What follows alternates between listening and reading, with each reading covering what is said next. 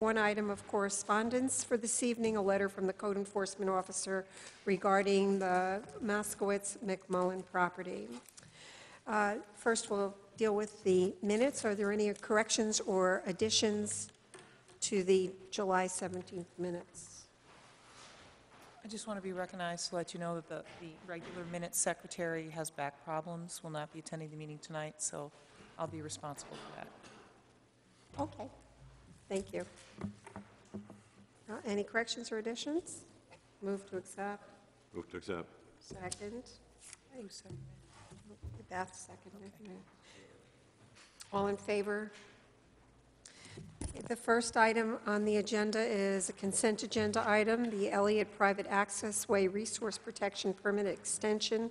Don Elliott is requesting an extension of a one, ye- uh, of one year for the resource protection permit granted on August 15, 2006, for a lot located at 43 Hannaford Cove Road, Section 19-8-3, Resource Protection Permit. I need to remind everybody that if anyone wants to have a substantive discussion, then we need to table this. If not, do we have a motion to consider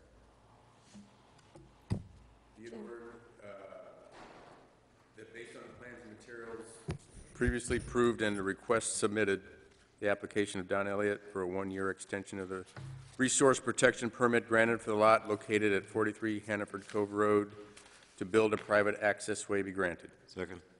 Second. I need to be recognized on this as well.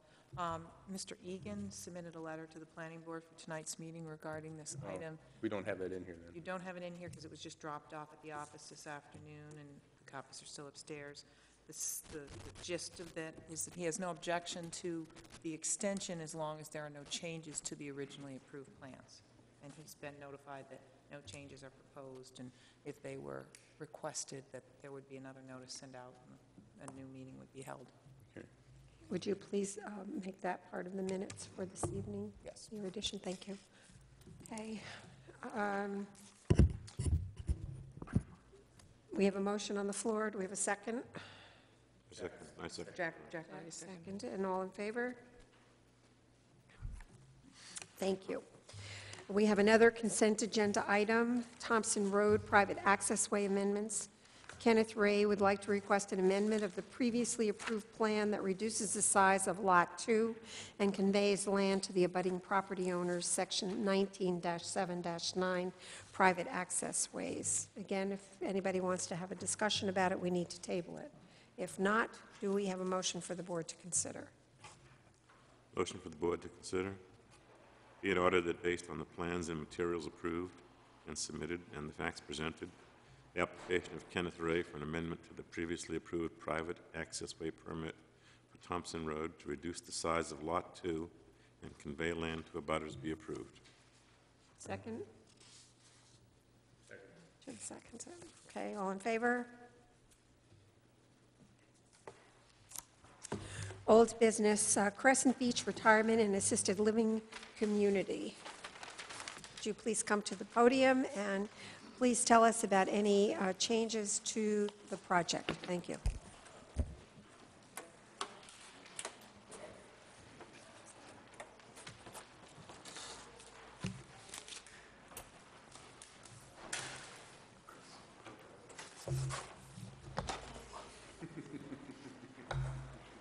Just a drill. It's a test.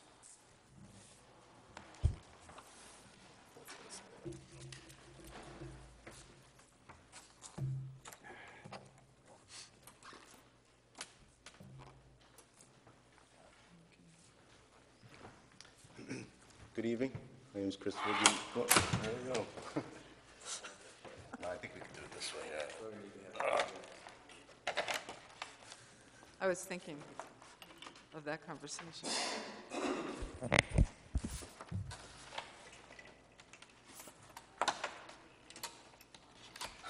Thanks. Take two. My name's Chris DiMatteo with uh, Sebago Technics. Good evening. I'm giving uh, some patience tonight. I'm- Unfortunately, I'm a little under the weather, so my voice is kind of in and out. But uh, I'm here on behalf of uh, Canyon Creek. I have um, uh, review the, the um, changes that, that uh, we took place. Essentially, I I summarized them in the cover letter. I think that the three main uh, changes to the site was, uh, I don't know if you have the numbers in front of you, but number five, where we talked about essentially the change in grades, we actually, uh, with with adding a curb here, it, it makes uh, better sense to actually pull in uh, and convey the drainage away from the building using uh, field inlets. So we have a pipe coming out this way, heading out to the south end of the building and daylighting out in this vicinity here. So That's a, a- one of the larger changes. Um, The, another larger change, item 12, where we discuss about moving, relocating um, the propane tanks that were originally consolidated to the east of the building, now are consolidated down to the south of the building. And I think we, uh, we saw that on the, I pointed that out on the uh, site walk, and we plan to um, include with bollards a planting uh, screen as well, Uh, so it should be screened. And then the last real big item is essentially the, the, the main entrance has kind of uh, changed uh, here. Uh, We had thought that we were going to be able to um, maintain and preserve that tree out front, but uh, after taking a look at it, it- it's a better option to, to actually redesign, uh, which is on those plans, revised plans, redesign that entryway, which actually takes advantage of the space with a, cost- kind of a small seating area for residents and um, uh, visitors alike. Um, I believe we addressed all those items from uh, July 11th review, and with regard to the um, most recent comments, uh, we have uh, no issues with them. We've also, we've gone already to uh, talk to uh, the electrical engineer with regard to uh, the foot candles, and that doesn't seem to be an issue. We're just going to pull those uh, lights back a- a bit, and um, so we wouldn't exceed that uh, half-foot candle at the property line. Um, Definitely taking questions. Before we entertain questions from the board, uh, we are scheduled for a public hearing this evening, so I'm going to call the public hearing to order, and if anybody would like to speak about this project, please come to the podium and state your name and address and whatever you want, like to say.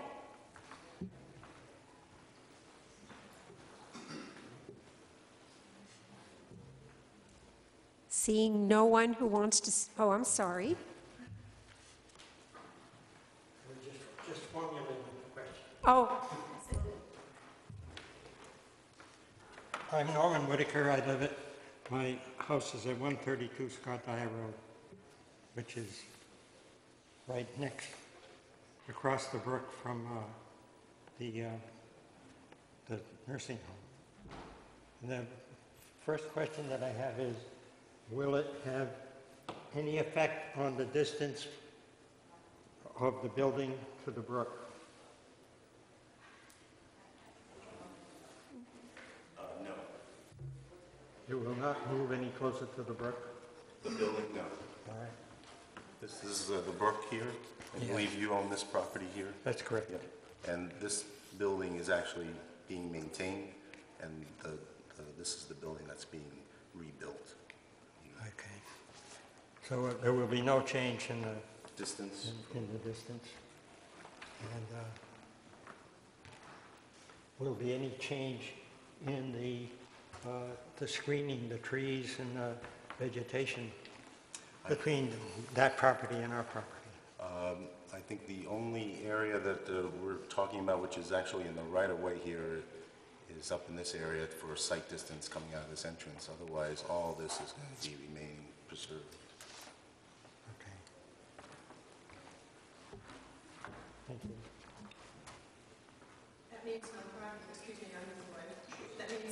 i- if you, if you would like to say anything, you need to come up and identify yourself. Sorry.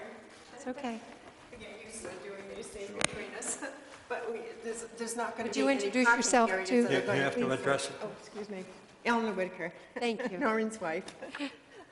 Uh, There's not going to be a lot of parking that's going to go over on this side There's then? no parking here, actually. We're just maintaining, we're actually not adding any pavement, except we are adding a walkway that's going to go from here to here along this side of the building, but not, we're not going to be removing any vegetation except for lawn to do that. So this buffer here remains intact. good. But there, there's, it was important to kind of create more of a circulation for residents uh, to go around the building. Oh, I see, okay. All right, thank you very much. And my- the other question is, has the board considered the problems that this company has had in California in reviewing their plans and their proposed operation? I think what this board does is we determine whether or not a property meets our code. Uh, We don't make any assumptions. If they have the financial capability, and we have had guarantees that they do, um, then we have nothing that we can really say about what has happened in California.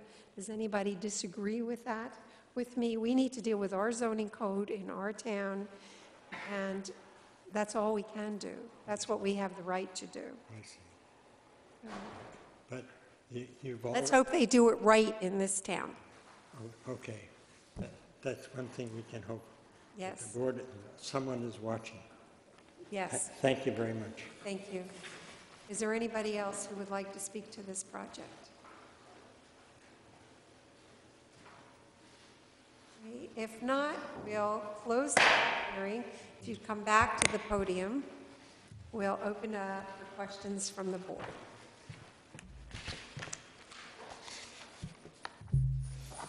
Are you able to cut back on the number of propane tanks?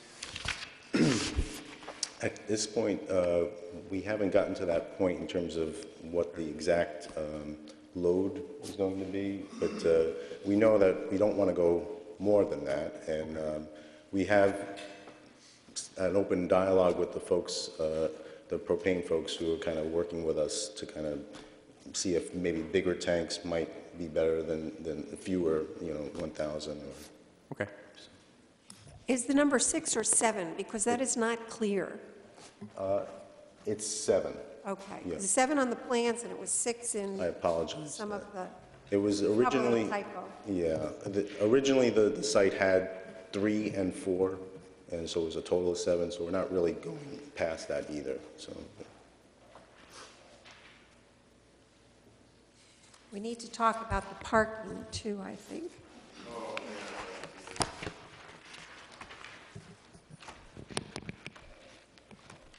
I guess you're too short. We're talking about having two spaces considered to be shared spaces so as to meet the requirements? That's correct.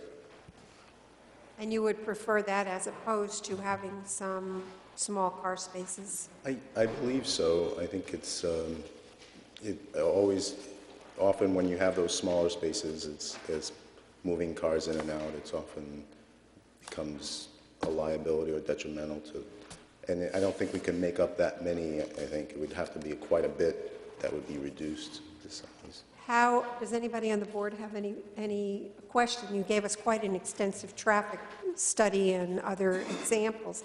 Does anybody have any question about having two shared parking spaces in order to, prior to this development, I never noticed, and I was there a lot, unfortunately, that the parking was, it was usually half empty. Mm-hmm. So maybe nursing homes don't, and assisted living and elder, uh, independent living don't require as many spaces, but if anybody has any questions about it at all? Okay. And you said you were taking care of the, the lighting levels. That's correct. Those, uh, those lights will just s- move back away from the property line. Does anybody have any other questions? Most of them seem to have been answered in the package.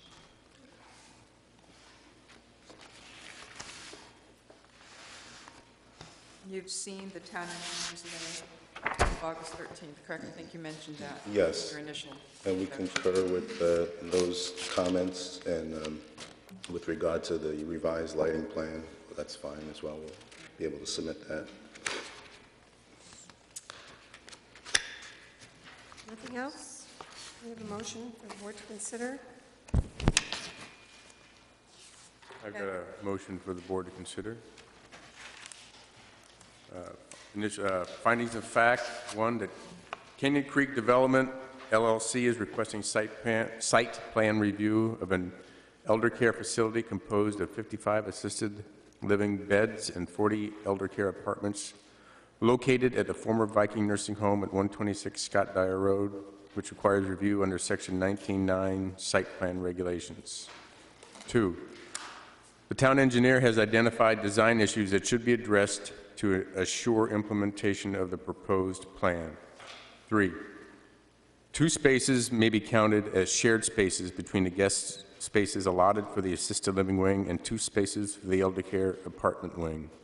Four, lighting levels at the two entrance- entrances should not exceed 0.5 foot candles at the property line. Five, the application substantially complies with Section 9 19.9 Site Plan Regulations. Therefore, be it ordered that based on the plans and materials submitted and the facts presented, the application of Canyon Creek LLC for site plan review of the Crescent Beach Retirement and Assisted Living Community, including 55 assisted living beds and 40 elder care apartments located at 126 Scott Dyer Road, be approved, subject to the following conditions. One, the plans be revised for the town engineer's comments dated August 13th of '07. Two, that the applicant submit a revised lighting plan for the two entrances that limits the amount of light at the property limit, property line to uh, 0.5-foot candles or less. Three, that there be no alteration of the site nor issuance of a building permit until the above conditions, above condition has been met. All in favor? Thank you very Thank much. you very much. And please, heed comments that will all be done properly. Pass on, it needs to be run very well. Thank you. I'll hold. Thank you.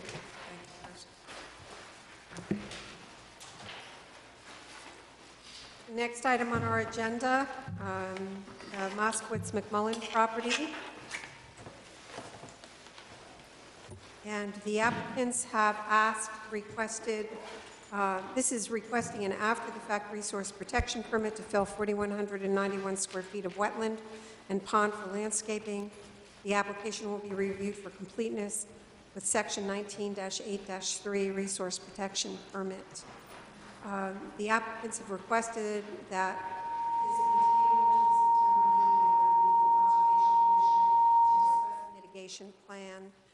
have a motion for the board to consider? Madam Chair, I have a motion for the board. Uh, Consider the motion that in order, based on the plans and materials submitted and the facts presented, the application of Diane Moskowitz and Scott McMullen for an after-the-fact resource protection permit to fill 4,191 square feet of wetland and pond for landscaping located at 221 Fickett Street be tabled to the regular September 18, 2007 planning board meeting, at which time a public hearing shall be held. Second. All in favor? Thank you. Uh, Next application, uh, Jonesy's Convenience Store Site Plan.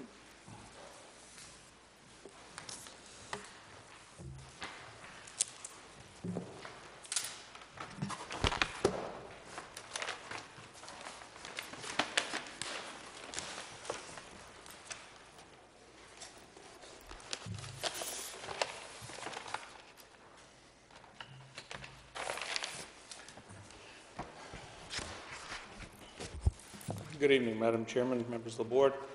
My name is Ron St. Pierre. I'm here representing Jonesy's. We've been here before.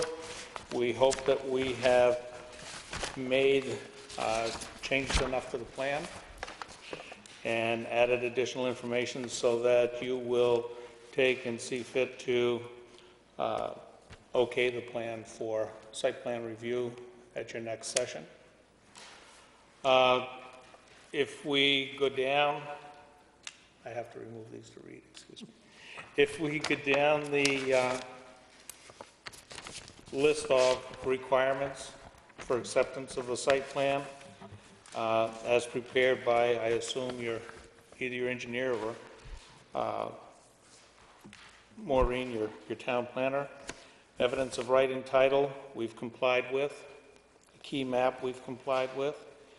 Name and address of the owner, applicant, and the butters, we've complied with. Lot line dimensions, location of existing building structures, streets, easements, driveway, entrances and exits, proposed buildings and structures and road, driveways, parking areas, building setback, sideline, rear yard distances, existing physical features on site within 200 feet of the site, topography of the existing and proposed contours at five-foot intervals, parking, loading, unloading area locations, roads, curb, bumper, sidewalk details, section and dimensions. Uh, We requested a waiver on the stormwater system and uh, granted that. Uh, We checked, uh, that's, a- that's, we're not changing the elevation, so he uh, recommended that. Location, design of sanitary waste disposal system. Location, design of potable water supply. Location, design of method of solid waste storage and disposal. Landscaping buffering plan, lighting location, uh, wattage, foot candle radius, sign locations, dimension, and technical and financial capability. You did a nice job of covering all the areas and working well with Maureen, so thank you very much. I appreciate Maureen's help. She was a big help. She is excellent.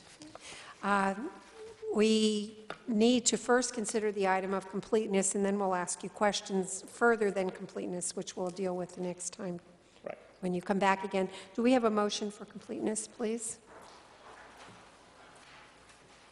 I guess I'd like to ask a question first. Can we do that? Sure. If it has to do with completeness. Yeah, uh, I just want to ask, if you- if you reviewed the letter, uh, August 13th letter from Stephen Harding, Yes.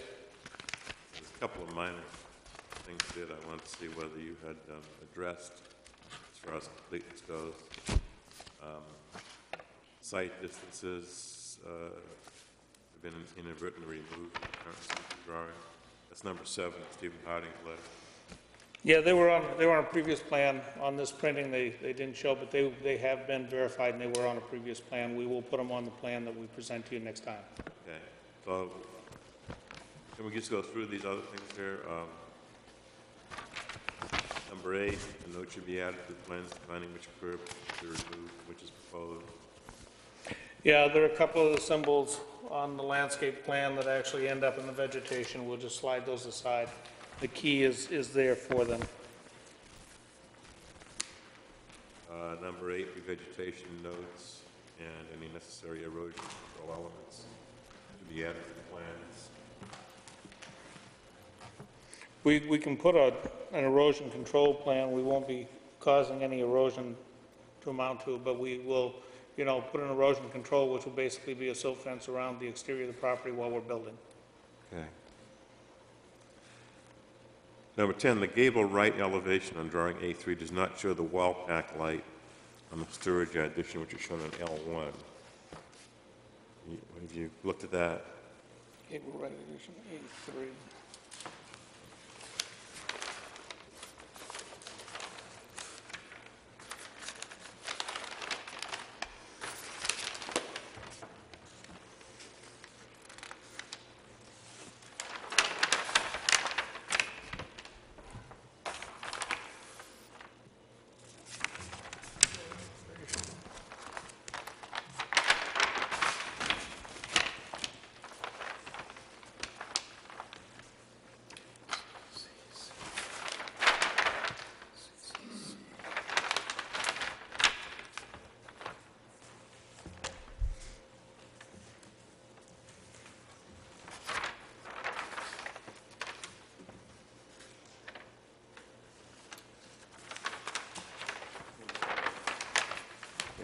The one that shows the lighting.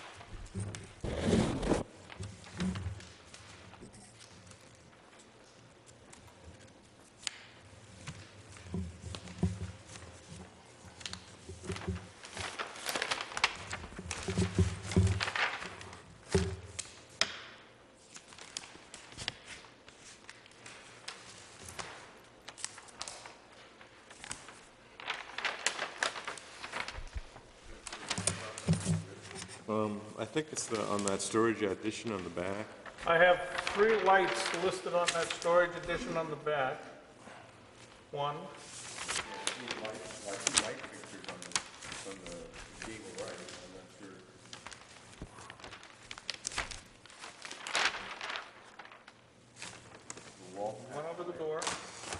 look at C3, those light, those lights are not on that storage addition, yeah.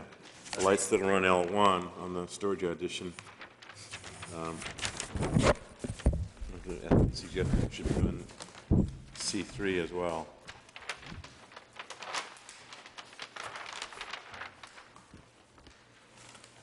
C, you talking about C three or A three? C3. And C3 that you mentioned? Yeah. I'm sorry, A3. C three is civil, Yeah. you wouldn't have lighting up. Right, A3.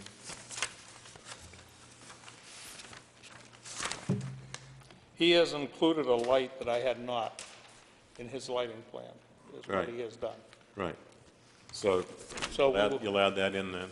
I'll, I'll put that on the building. So what he did, and, you know, he added a light. Now, if you go, uh, there are a couple of places where the um, foot candles exceeds your point Right. oh five, and basically that's on this back easterly side here in a couple of places, just as it hits this line uh, across here, and then on this side, but what he did, and I'll explain this, and we can always change this, this is a 70 watt light wall pack, which is downcast, and he anticipated this four-foot retaining wall that runs along that side. And if you see, once you get past the retaining wall, all of the levels drop be- below .05. In front of the retaining wall, which is the lower end, they, they run down at plus three, plus four, plus five around there, but up above, since that wall light is casting down, mm-hmm. above the retaining wall, all the levels are mm-hmm. below the .05.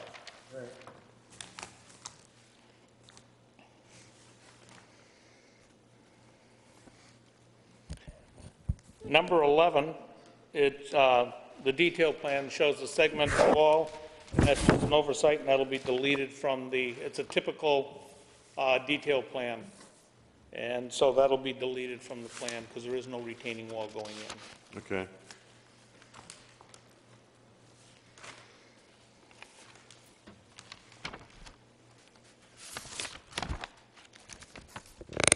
And he's asking the details should be added for the proposed catch basin. Yeah, he, he just wants to see a riprap detail for Yep, the, where the outflow is gonna go. And we changed that to meet their criteria, actually, their suggestion. We were gonna leave that alone, but their suggestion, uh, from the last set of notes was that we should possibly put a small catch basin in there at the lowest point and, uh, direct the outflow to the existing ditch with a riprap around it, and we'll do that. Okay, good. Anybody else? We have a motion then for the board to consider, and then we can ask some more questions in terms of, I have a motion for the board to consider. Uh, Be it ordered that based on the plans and materials submitted and the facts presented, the application of Greg Jones for site plan review to convert the existing gas slash service station located at 298 Ocean House Road to a gas station slash convenience store be deemed complete. Be it further ordered that the application, come on, go, let's put in the completeness, okay? oh, um, I'll second the motion. all in favor? Okay, Uh, Be it further ordered that the application be tabled to the regular, Do you want to table it before you have your discussion? I'm sorry, go ahead with the discussion. Now we can talk about some things beyond the level of completeness. Uh, Do people have questions that they would like to ask?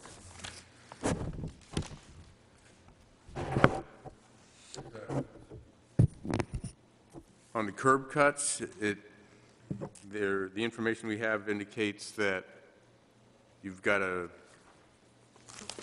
uh, an overly or ex- exceedingly wide southern curb, curb cut, the south curb cut?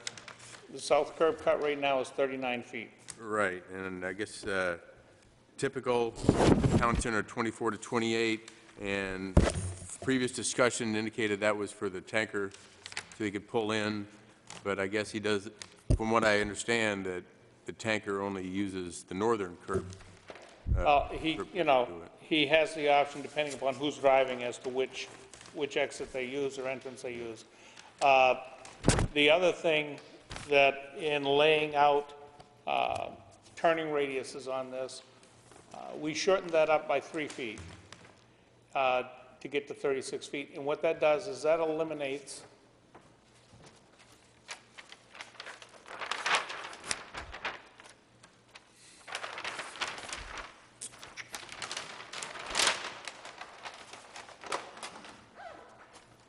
by, if we were to, let's hypothetically say that we were to take, this is the existing, you see on the existing proposed plan, the new island, the new grassed island overlays the existing island.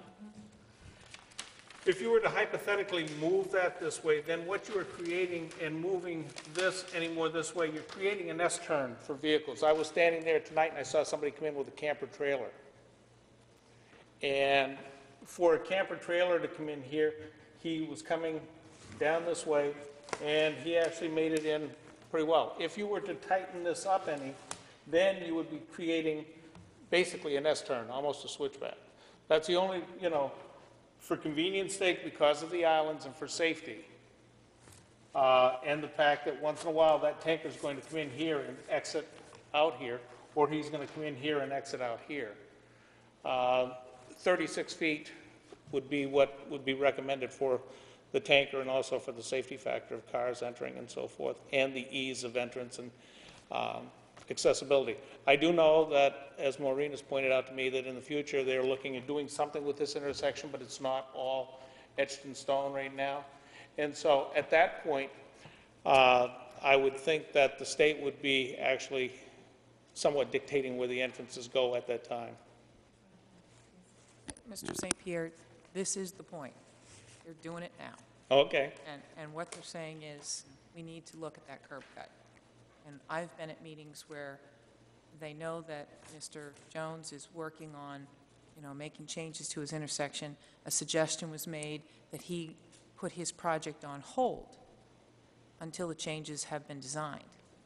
And I have suggested, instead of making Mr. Jones wait, to perhaps take the bull by the horns and go in there now and, and reduce that curb cut as much as possible so that the state doesn't come back in later and, and tell you you have to change it.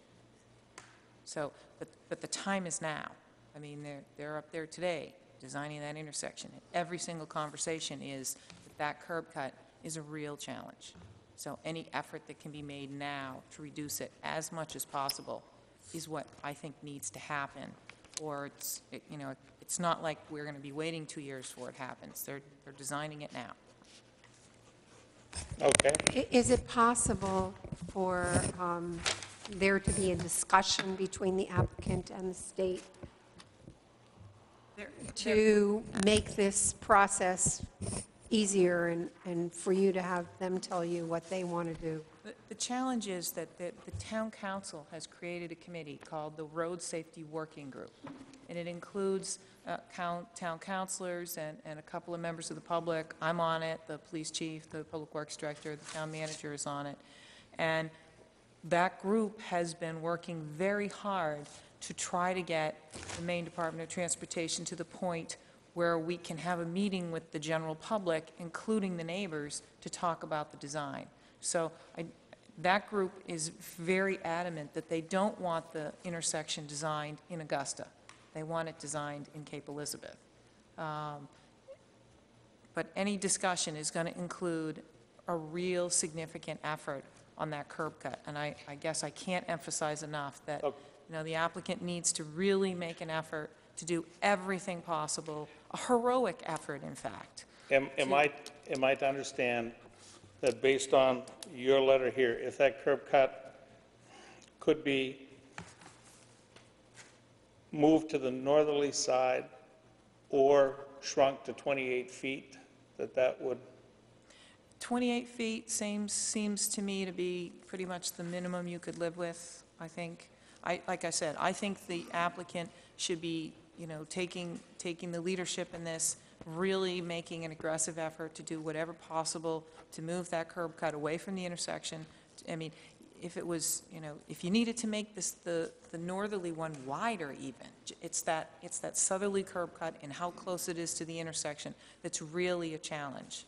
And if you had already done, if you had already made a heroic effort, how could anyone else come in and change it again? Uh, But, you know, the time is now. Okay? Speaking on, The- The islands can't be moved, though. The gas islands are critical. Oh, I'm not talking about the gas island, I'm talking about the island that separates the two curb cuts. But that's, that's what's dictating how the cars need to come in. Right, I, but I'm And- just saying, I- I've And- talked and to, we're worried, as, as Yeah. Ron explained, we're going to get into a, having the cars come down here and then switch back to get, I, I'm not saying that. I don't understand I'm what the just saying- options are for What it. I'm saying is, you know, right now, you've got 36 feet, and the major reason you've given for 36 feet is that the tanker truck has to move in there, and, you know, I'm getting a lot of information, that there's really going to be a lot of focus on that, and then I hear that the tanker truck doesn't even use it. And I'm even hearing from someone who drops deliveries every weekend, that even with the new configuration, he wouldn't use the, the southerly curb cut, because you'd have to get through the canopy, and as long as there's one person sitting there filling their car up with gas, it's just easier for a delivery to use the northerly curb cut, and you swing in and then you back out later, which is what they're doing now. So if you're saying that you need to keep the southerly curb cut where it is and the width it is for the tanker, that's not passing the straight face test. and I'm not. But if it's for cars, my guess is that for cars, you still have some opportunity to move it away from the intersection. I'm not asking you to make people do figure eights when they're trying to get their gas, but um, I, I really, you know, I think there needs to be some effort made to show that this is the minimum that you need, t- that you need to make it work. And, and I, I'm just going to stop now, because it's the planning board's call. speaking for Mr. Jones, myself, we'll sit down and we'll be as diligent as we can about moving that away from the intersection and seeing how close we can come to narrowing that up so it meets your expectations as between the 24 and 28 foot without impeding traffic and creating uh, an inconvenience, because basically he's going to be in the convenience business. Uh, An inconvenience and a safety factor, like I said, with campers coming in, when you start bringing campers in and making them do stuff like this, but we'll look at how far we can, because this is, this is the curb cut that you really want to extend. You're not really concerned about moving this one way or the other. It is No, this. It's getting, it's getting it away from the intersection. Right. And we will look at that over the next week and present you, you know, what we can do. Is that adequate? Yeah, I, I just, you know, I, I think you want to try to take the lead on this, and then when a public meeting happens and there's a design, you've already done all your homework, and you can say, we've done the best we can, and we showed it to the planning board, the planning board agreed this was the best we can do, and, you know, And we because it could is have some- happening now. Any reasonable ins- uh, reassurance that the state, a couple of years from now, wouldn't, wouldn't change it again? There's no reassurance, but I, but I can tell you that um, there are, there are people in town right now who are very, very adamant that this needs to be designed within the context of Cape Elizabeth. Yeah, And those meetings you spoke about haven't begun yet, right? No, we've been trying to hold one, um, we've, we've been delayed, quite frankly, MDOT is behind. Okay, Bob Malley mentioned it to me Right. many months ago, You know, and there's. I'd be there's- interested in there's attending a those. real commitment, and we, kn- we know that this is a challenge. And Okay. we know that we need to do something that makes, that still makes your business work. But, you know, if you get out ahead of it, say, this is what, this, we did all the homework already, this is the best it can be, then we can move on to the next part of the intersection. Oh, it is, Definitely will, sure. it is wholly our intent to comply with, you know, the board's wishes and, and do whatever we can to make that happen. Gil, you finished with that curb cut? What was that? We're finished with the curb cut discussion. If they that back within a week, then that, addresses your concerns there. I think there's some, some design requirements concerned too. uh, Standard in the town center design requirements was, uh, quote, "The first floor front facade shall be constructed with an equal proportion of opening to wall space." You want to flip back to that front design? so everybody can Front, see it? front elevation.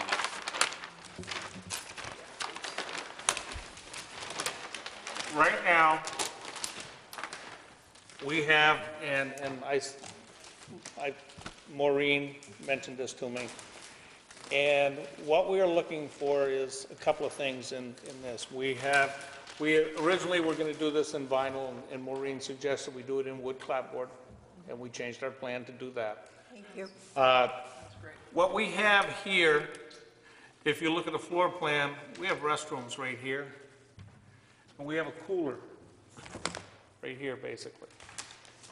Uh, We're somewhat limited. Now, I was looking at the um, Cumberland Farms store across the street, and they've got several double-hung windows blacked out with paint Right. that aren't, they're just windows over there for the facade look, not necessarily for the functionality of it. Correct. Uh, In, in looking at Greg's store tonight, what I saw is, he has three bays, and basically, that middle bay is going to be the middle of his store. So that's approximately 10 feet by 10 feet. And so there's 100 feet of glass that we're going to have in the middle of the store. I'm going to redesign this to meet that 100 feet in the middle. And then he has two 10-foot bays on each side. And what I will do is redo those so that they are at uh, approximately six and a half feet. There'll be a 100, that'll be another 130 feet. So that will be 230 feet out of approximately 800 to 850 that we have on the front facade. Now, in looking at that tonight and looking at So could you, the, the windows are, right now, how high? These windows here are four feet high right now. You're gonna change them to six and a half feet? I'm gonna change them to six and a half feet. The reason we start those windows at here, if you look at Cumberland Farms, their windows start at the floor, but then they've got them mullioned out. They've got, uh, actually spandrel panels in the bottom, so you can't see in the store, and there's a reason for that. Right. That very few people like to see the blood and guts in back of a display. So, we tried to keep this wall height at about three and a half feet, so we can have shelving against it and gain retail space, and people still have good visibility. So I will do that. And we, we need room to put freshies on one side, and uh, Greg has asked me, and I've got to look at doing Jonesies. He'd like to maintain the Jonesies logo on the other side. So what, what I'm looking at now, to try to help comply, is I was looking at a couple similar to Cumberland Farms, a couple of double-hung windows on each side of the signage. And, you know, to take and try to comply with what we have. Um, And in doing that, I can gain approximately another 160 to 200 feet. And that would put us at 470 thereabouts of the 580, and still maintain uh, the integrity of the building that we're trying to present to the town and to the public, Uh, which is a building that has colonial characteristic, which you'd like to have in the downtown area. Uh, And so by putting these windows here, these windows would be uh, a filmed-out window. I I wouldn't paint them black because it doesn't go, but what I might do is just a a mirror-type film, so that when you, when you're passing by or you see them, you see at least a reflection coming out of them rather than something, if that would be, Yeah, in fact, they don't really even have to be true double-hung windows. It could be a faux mullioned window. Um, If you drive by the Oakhurst plant on Forest Ave in Portland, they have, the whole front facade is filled with mullion, with, with faux windows, rather. I'm not sure any of those are mullioned, but you can yeah. design. Well, we could make those, we could bring those down so that they mirror the windows that we're using in here, and make them roughly six and a half by four, something of that nature, across so that, you know, and then put the faux film behind them so that you would have the appearance of the window, but you wouldn't have that blackout space, which would just detract from this type of a Yeah. building, at least by having uh, a mirrored type image of, of sorts. You would have some sense of, you know, view through that window, even though what you're seeing is yourself. Right. I think that would help the front facade. Yeah, I think- Right now, it's it's sort of got a warehousey look on each side. That would at least, So we, we can do that, and, and then, like I said, we'd like to, you know, we'll look at the Jonesies in between, and then kind of picture frame the Jonesies and the Freshies with those windows on each side. Right, okay. It's a nice idea. I like, I like the continuity of the Joneses name, too. I think that's important just for the... Right, because he's been a part of the community for a long time, and everybody that goes by there, it's Jonesies. Yep. And we want to main, even though his franchise is on the run of Freshies, it's still going to be Greg Jones' place. So we'd like to take and do something in script like he has there in an an LED light, not a neon, but a, you know, a backlit LED that would, wouldn't be too overpowering, but, would, you know, That'll balance it well, too, particularly with the windows. That's great. What, what is Freshies? Is that another trade? Freshies is a food program similar to a, a- a Subway program. Uh, What it is, it's a proprietary food program uh, owned by uh, Greg's dealer, which is R.H. Foster out of Bangor. And the program itself is a sandwich, salad, pizza program, all fresh, um, somewhat upscale in as far as their appearance and their product. So it's independent of On the Run, then, or Beg pardon? it's independent of On the Run? independent of On the Run. On the Run uh, will be the interior graphics, will be On the Run graphics. Uh, The On the Run program has Bengal Traders Coffee. It is proprietary to On the Run.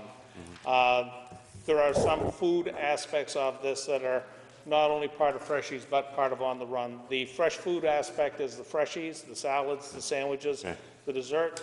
The On the Run would be like the grilled hot dog thing, the taquitos in the morning. But uh, there'll be fresh baked donuts in the store every day by Freshies.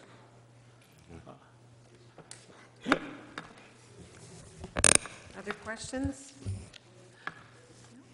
I, I have one question, and that is that um, the landscaping seems to be a bit minimal. Um,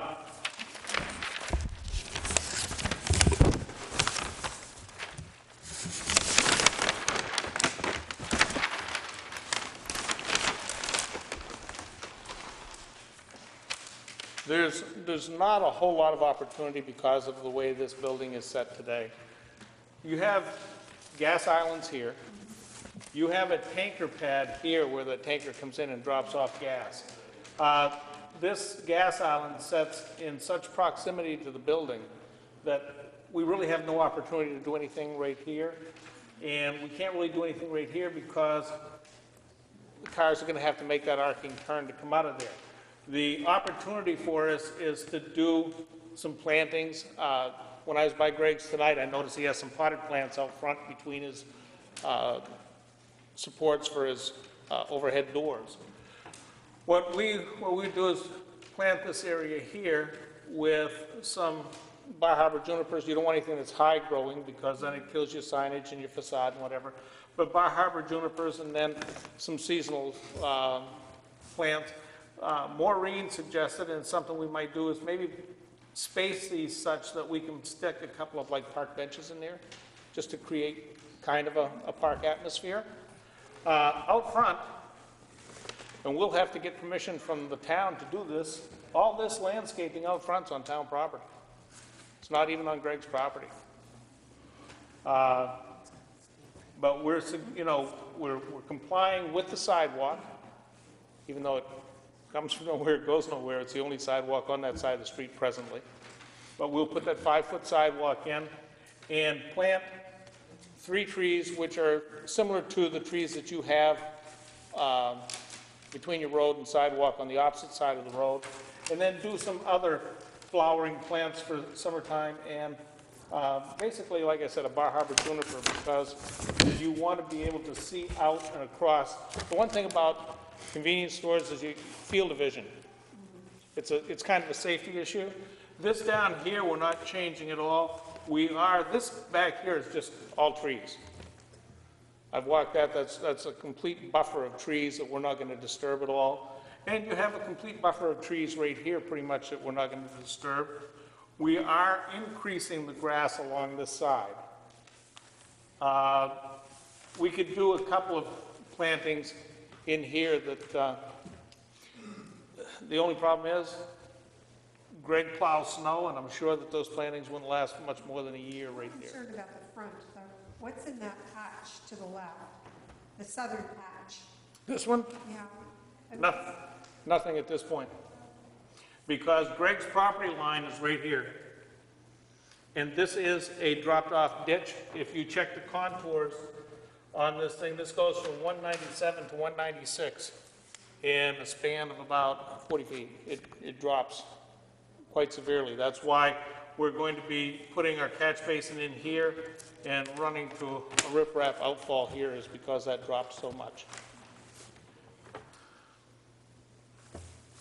We, you know, we've got a little bit right here, we could put some small plantings in. Um, We could put some small plantings around the base of his sign to dress that up a little. Uh, You know, right here, if, you know, coming out, you want to be able to see down this way, so you, you don't want to cloud it with anything. You could possibly put on the top of the hill a couple of, you know, these small trees like we're going to put out front. But it, you're limited to what you can do because you have very little green space to deal with here. And we try to comply by putting, like I said, matching trees that you have in, in the rest of the town, and these little, basically flower gardens surrounded by bark mulch and Bar Harbor junipers with, um, summer flowers every year, seasonals being planted, which will provide a fair amount of color and whatever. We had looked one time about putting a, a walkway across and painting it green and whatever, but it, it's kind of a safety factor, to have a, a walkway in the middle of the driveway. Uh, so this, you know, couple of plantings here. If we extend, extend this a little more, we might be able to do a couple more low plantings. But again, what we have to be concerned with is traffic leaving and having field of vision into the roadway. Well, thank you. Other questions? Um, oh, oh, Window boxes too, if you're putting those, Yeah, y- yeah, if you're, putting those double Yep. hung or those faux double. well, hung, those, those could also, that would I know, help, I know Greg has somebody that's really pretty good with plants and whatever. Uh, We, we could possibly do something Yeah, you could, Yeah. Would dress Underneath. up the building a lot. Yeah. that's what I was thinking. underneath these, these windows here. Yeah, Yeah. People like that, too. They'll be Yep. attracted to come in yeah. with things, flowers. Thank you. Uh, A couple things on the the drawings, it's kind of confusing. C2 is existing proposed plan, and C3 is proposed plan. And there's not much difference between the two. I'm just- I just wanted that title, exist, to existing proposed plan, just as confusing. Well, this is, this is the proposed plan. The existing proposed, proposed, proposed plan is just to show you the scale of what we're doing today compared to what, or what we're you know, with the project compared to what is there today.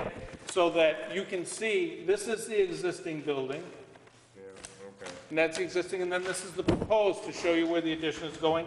This is the existing island, and you can see the proposed island in relationship to it. That's, that's why you do that, rather than flipping and saying, okay, this is what it is today, and then flipping to another plan.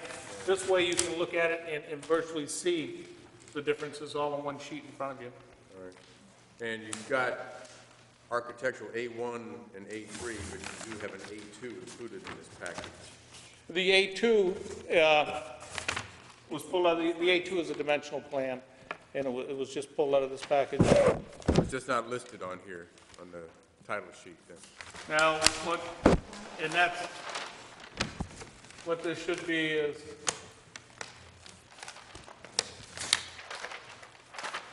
Just a bookkeeping thing, I guess, you just don't have the drawing listed.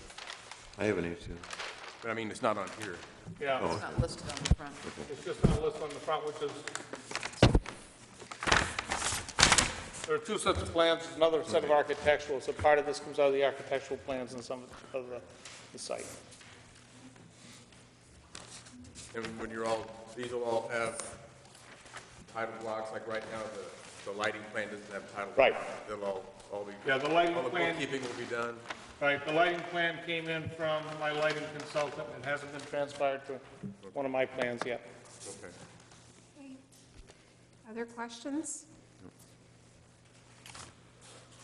Then let's have a motion for the board to consider, and we need to discuss the site walk. You started that last one, Jack. Yeah, okay. Motion for the board to consider, be it further ordered that the application be tabled to the regular September 18th, 2007 meeting of the planning board, at which time a public hearing shall be held. Second. All in favor? Okay, now we need to discuss the site walk. We know that we all know this property really well. However, at least I think we should go with the plans and actually look at where everything is going to be and where the landscaping, that's my opinion, but if nobody else agrees, then, Yeah, I'd like to do that too, and before we do that, I'd like to see a a redone front facade plan too, with the, with the, either the windows or the faux windows added to the plan. the plan, the- Yeah. well, then we have to ask the applicant to submit them early, and I'm not, is that fair? Well, What, we will make ourselves available to the board. Okay. Well, We have to have the site plan before the next meeting. Right. But I, I'm, as far as asking you to redo that, the, the, the day for submittance for that is when, Maureen? It's, uh, next Friday. Oh, It's the end of the month. okay, because I was going to suggest, if everybody's av- available and the other people, we have a workshop on the, f- you know, the first Tuesday of the month. great. So Was that the we can 10th? go right before that, but I don't know if you'll be 11th. available. No, it's the That'd fourth, I that'd the think. fourth. It's the fourth. Uh, Tuesday after Labor Day. yeah. Okay, it's the fourth. Yeah, and if you, are you, you're local, Mr. St. Pierre, aren't you? You're not, well, actually, That, Greg that, that Greg doesn't, could that be doesn't there. make any difference. I'll be glad to be here to walk it with you. Bangor is local. Yeah, the submission, But I'll, I'll be glad to, yeah, the submission deadline is August 31st for the September 18th meeting. And your next workshop is September 4th. So whatever he's submitting should be in the office prior to the workshop. Okay, so if we could just bring a copy of, Right. one copy of that with Right. us on the sidewalk. Is everybody free half an hour early, say, uh, on the? need an An hour, we better make it an hour. Yeah, so that would be at, Clock, would be 6 o'clock on the 4th, if that's convenient for everybody. yep. now, I would like to ask the board one question. If all possible, we're being tabled to the next board meeting uh, for public hearing. Uh, Because of Greg's circumstances and, and help and, and so forth, uh, provided that we make all the changes as we noted here tonight, would it be possible if everything is satisfactory to the board and with the public hearing, that nothing arises out of, you know, context, that we might get site plan approval that evening as well? Yeah, I mean, if That's- there, that's if, the you intent. know, if everything is, all the i's are dotted, t's are crossed, and Excellent. public So- doesn't have things, uh, there's no reason why we couldn't approve it the next time. Mm-hmm. Excellent. Now, that's not a guarantee we're going to. It's Right, simply I saying understand. That we can, provided Right. that everything. Provided that we do what, Absolutely. and, work and answer all of, you Maureen. know, take care of all your apprehensions Yes. and, and so forth, yes. Yes, there's no reason why. That's all we ask. Absolutely. Thank you. Okay, so four, 6 o'clock on the 4th, we will then meet at Jonesy's, just with the, with the new plan and uh, the new front facade. Do you require Ron's presence, or- or would I be adequate? No, we don't. I mean, we don't need to. As long as you can walk us through it, it's fine. Maureen will have plans. I'll make sure Greg has a set of plans. I will bring, uh, It's just so we can see where everything is and we can look at that. uh, Rather private- than submit the whole set of plans. But it is over again, important that if someone is standing there saying, where is this window going to be, that Greg will be able to answer that. uh, And that's where you need to decide whether you need to have Ron there, because, But these will be renewed prior to the walk. Right, Right, but- these are going to be in Maureen's it's- hands prior to the 31st. it's typical at a site walk for the board to ask questions about where things are going to be located, and they expect the designer to be able to I'll be say, there. it's going to be there, or it's Sure. going to be here. I, I don't see it as being an issue. I love this part of the state. I'm not saying you have to be there, I'm just saying someone needs to be able to answer those questions. I'll be there. Thank you. Well, We'll let you and, you and, and, um, uh, you both decide that question. Right. And if you feel you don't need to be here as long as all our questions can be answered, then it's fine, you don't need to drive down. But that'll be up to you two. Okay. There's no requirement from us. Thank you.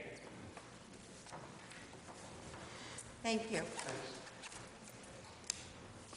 Okay, and the last item on the agenda is the Cardinal Lane Private Road approval. Suzanne Gabriel.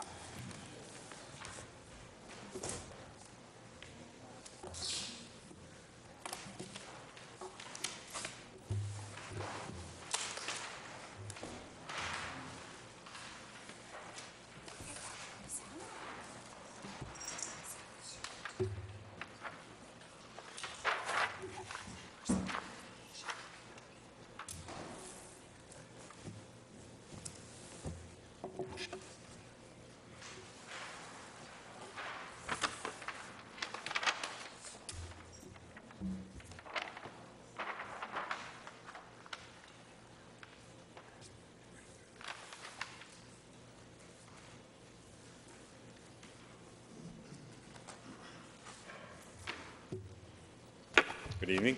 Good evening. My name is John Mitchell, Mitchell and Associates, and I represent Suzanne Gabriel, who is here this evening, uh, for the proposed uh, road extension of of Cardinal Lane. Um, Just to give the board a a- a brief background, Cardinal Lane was approved in 2001 as a private access way. Uh, Cardinal Lane is off of uh, Cross Hill Road, uh, This is Cross Hill Road here, this is Wells Road, and uh, Suzanne's property is located here between Wells and Cross Hill Road, with frontages on both. Um, Sue resides on this property. So back in 2001, a private access way was approved, uh, basically to uh, obtain road frontage for a single-family lot that was created and conveyed. Uh, The access way was, was constructed, um, and the utilities as well were installed, the underground utilities. And this application, or this request, is for the extension um, of Cardinal Lane, um, which will extend up this property line here to create an additional lot, um, Lot 3. Uh, The extension is approximately 225 feet um, of Cardinal Lane um, and a, the turnaround located here, the required uh, hammerhead turnaround.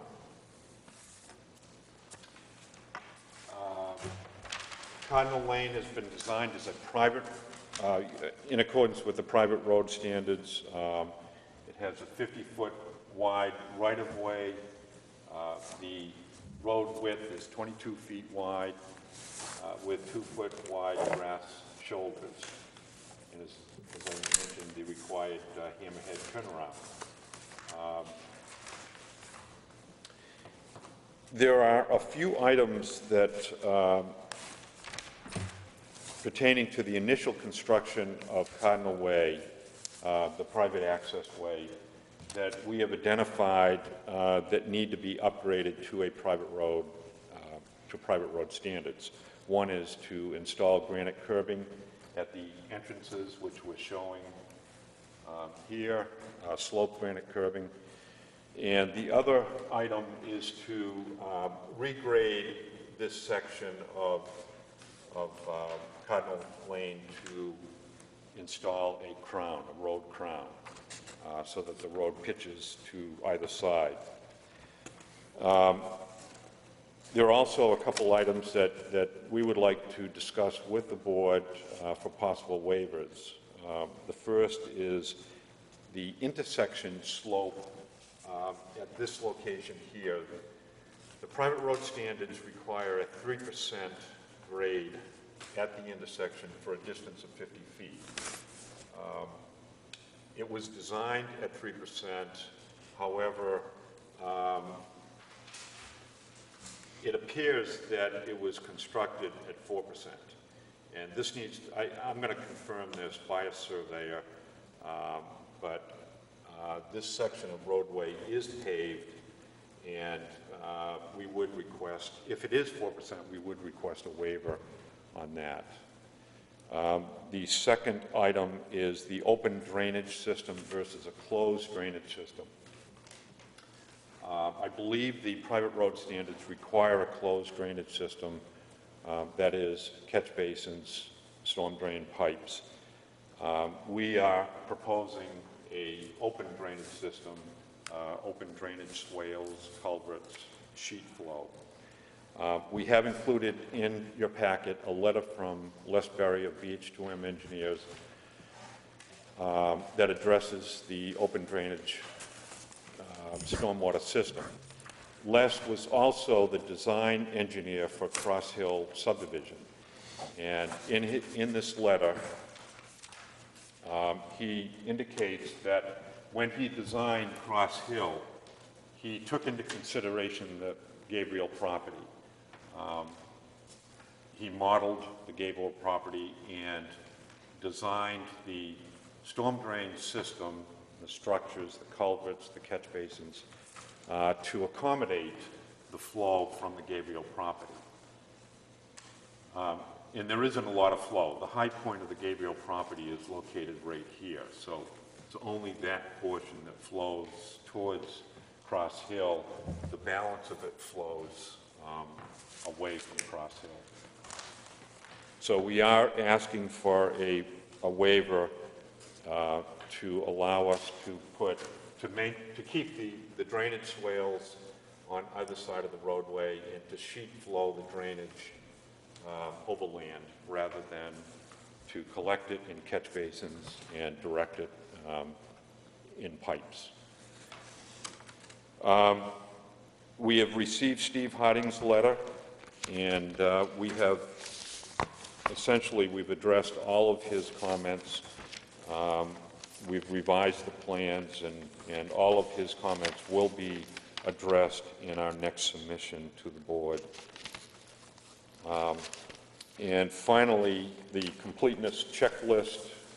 um, There is only one item in- uh, that is a partial, and that is the surface drainage stormwater management plan.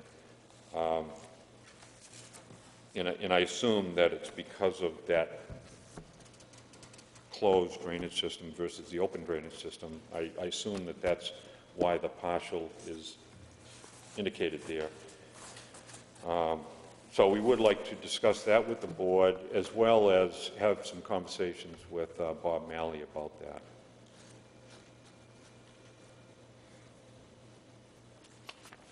Thank you. Um, Any questions from the board before we discuss completeness?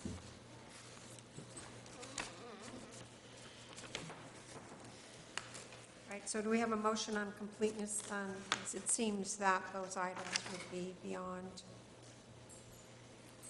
completeness. Uh, Maureen, can I ask you your opinion on um, the partial note on the checklist?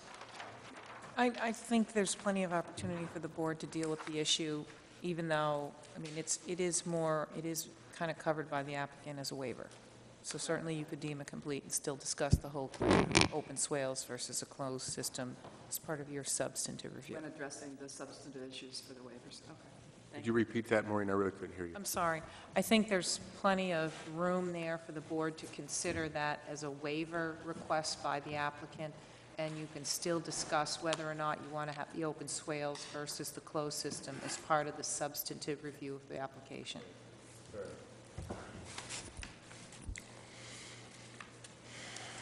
So I make a motion, the board to consider then, uh, be it ordered that based on the plans and materials submitted and the facts presented, that the application of Suzanne Gabriel for private road approval for Cardinal Lane, previously approved private access way located off Cross Hill Road, to create frontage for a new Lot 3 be deemed complete. Second. All in favor? Okay? Now, beyond, uh, before we talk about public hearing and and site walk, are there any things that we need to discuss in terms of the drainage and the three, of course, you're not yet sure whether it's really 3 or 4 percent. Right. And I'd like to know the ramifications of one versus the other. Not that much, okay? Okay. Very minor. Because, I mean, if it's not that much, then it seems ridiculous to have a whole expensive project then placed on the, the applicant. And it's already paved, that anything It's new, already paved, and it's, it's very insignificant. You'll, I, I don't have any problem with it. you'll, you'll see it during your site visit. Okay, that's fine. And what about the drainage? So we just, um, do you want to discuss it some more, or do you want perhaps, My take on the letter and and what the gentleman said is, the part that actually drains over that part is not very much, because it's near a high Right. point. yes, Maureen? If I could. Um, You know, this applicant has, I think, very responsibly laid out uh, a road right-of-way so that as she chooses to develop her property, it can be laid out in a very logical manner, and that's to her credit. Um, But if you look down the road, no pun intended, you know, the expectation is that over time, there will be homes on this road. And, you know, the, the struggle the town had a decade ago and more, because I've been here a long time now, is that applicants would often choose, would often originally propose a private road. And that would mean they could exclude or evade or design a lesser quality road. The bon, the problem with that was that, you know, the applicant's leaving town, the developer's leaving town, the new property owners have, have put in their new doorbells, and the first thing they do is they start petitioning the council to accept the road. Because who wants to pay for plowing and, and upkeep when it's a perfectly nice road up there? And then at that point, you've got this struggle with, well, they have to meet the standards, but, you know, how much do you want to impose upon these people to bear those costs? And so what happened was, is, is that the town subdivision ordinance was revised, so there's very little in it that gives you a benefit for creating a private road. Um, You don't have to pave the road, and the expectation is that if property owners petition the town to take over a private road, and the cost that they had to assume was paving it, that was within their expectation of what they should take on. Drainage on, however, means you have to dig the road up and, and install this kind of, of piping. And I would strongly urge the planning board to think long and hard before we depart dramatically. And I- And I'm not talking about 1% of, s- of grade here.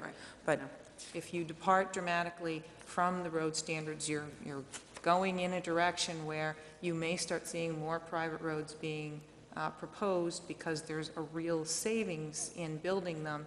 And then you are going to be having property owners shortly thereafter petitioning the council to accept those roads.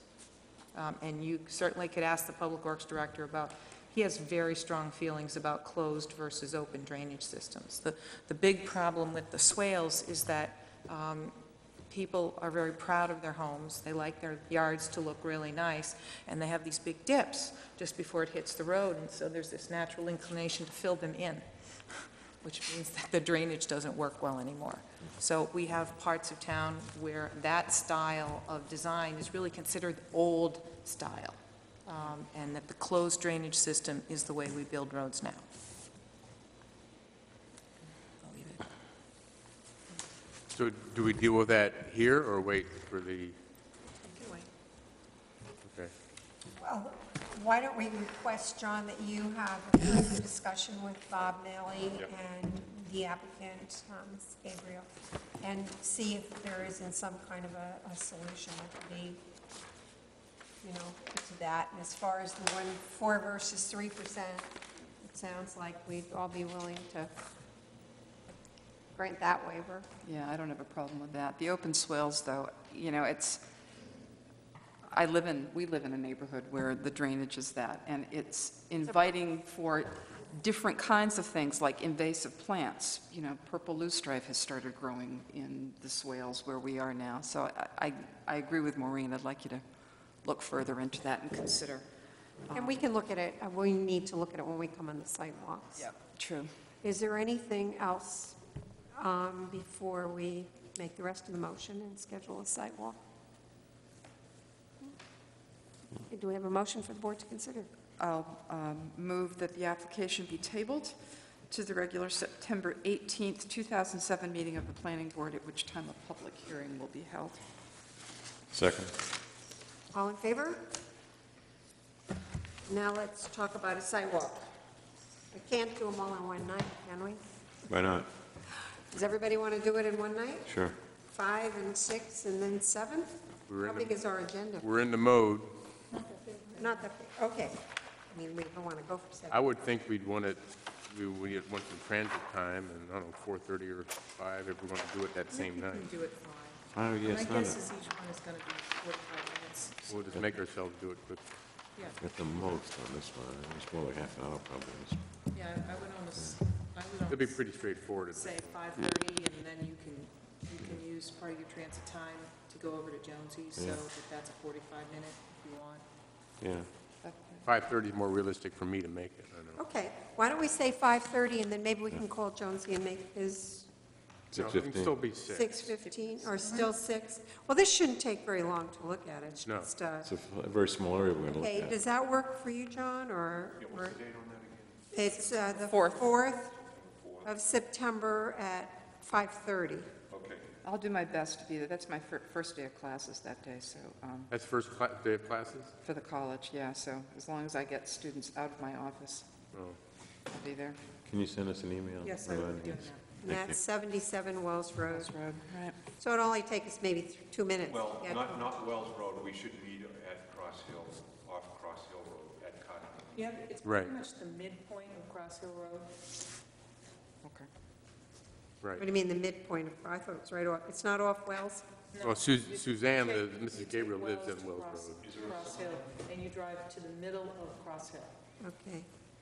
All right, would you send that in the email, the Yes. directions? Yeah, please. Thank you very much. Okay. Eh, Does that work for you? I just said it was, it's, it's basically the midpoint of Cross Hill. Yeah.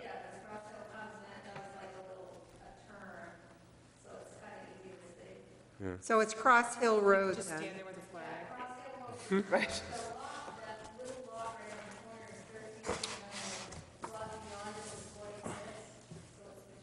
Okay, well, we'll get directions. We'll- find we- it. We're pretty good at following directions. Right. Give us a map. Thankfully, we are. Thank you very much. Good, thank you, John. All right, we will see you on the 4th then. Thank you very much.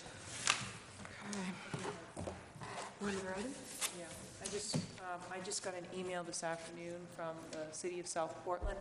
They have, I, I think the board remembers that you had made an agreement that when there were projects that were on the common boundary, that you would try to have a joint workshop on those.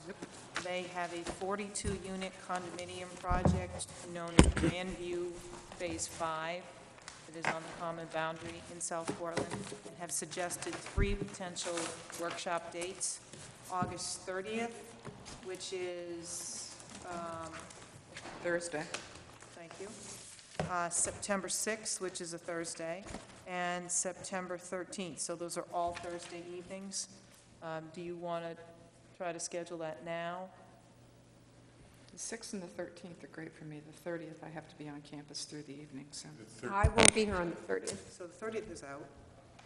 So you want to go with 13th. something instead of two things that I Yeah, think the that week 13th is Yeah. good. 13th. 13th. Okay? Okay, I So will what time would that be, 7? Um, I will find out, and I will include it in an email to you, and I will also you. email the members that are not here.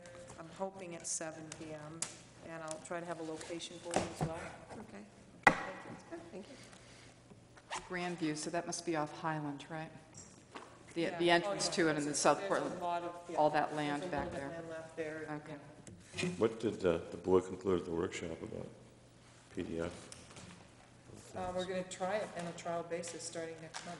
Okay, good. Did you happen to see the article in the Century by the gentleman that was? Was here. He wrote that, that was in the paper like the next couple of days. He was uh, Highland County it. So Okay. I think it makes it easier for the newspaper guys to, as people to. Yeah, he was, he was in favor of it. Being a non-techie, I'm not thrilled, but that's okay.